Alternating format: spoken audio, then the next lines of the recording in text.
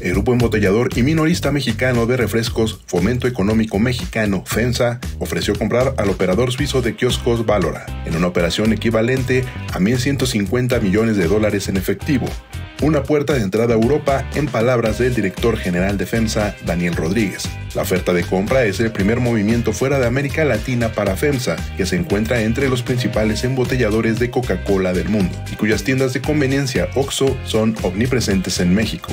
La operación, equivalente a 273 dólares por acción de Valora, incluye planes para acelerar el crecimiento en Suiza, Alemania y otros países europeos. El Consejo de Valora ha recomendado que se acepte la oferta aún existe la posibilidad que la compañía suiza fuera un posible objetivo de adquisición para los principales minoristas comestibles suizos, Migros y Coop, y no se debería excluir una contraoferta.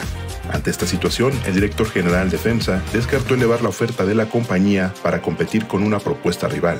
Por su parte, los directivos de Valora dijeron que no habían hablado con ningún otro posible oferente, pero que estarían obligados a considerar cualquier contraoferta.